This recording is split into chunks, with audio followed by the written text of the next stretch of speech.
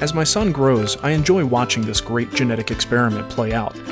There are certain traits I hope he gets from his mom, like beautiful cheekbones and a sense of spontaneity. And it's pretty clear that he's got my sense of humor. But there are also traits I hoped would skip a generation. Sadly, some didn't. Case in point, my dancing skills. Sorry, kid.